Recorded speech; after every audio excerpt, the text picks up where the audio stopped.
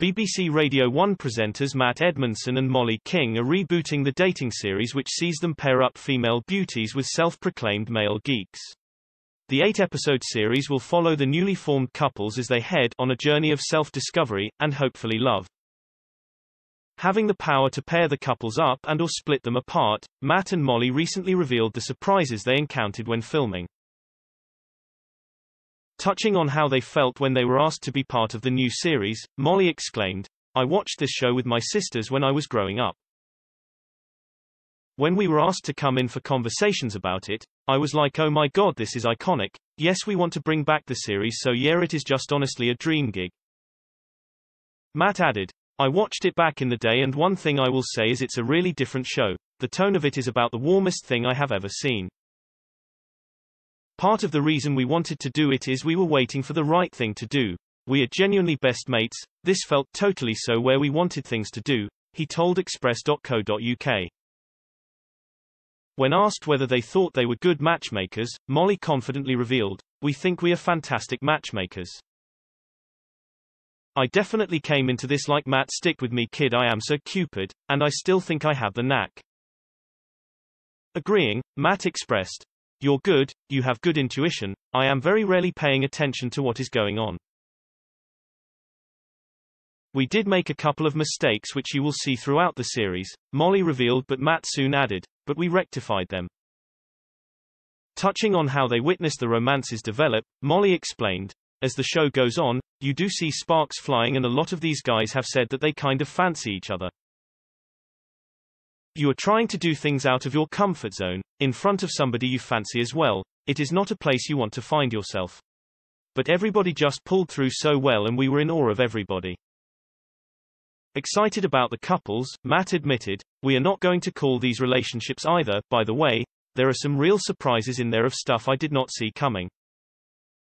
There was a lot of people angling to be with a new person or the same person they had but we absolutely loved the power, he teased.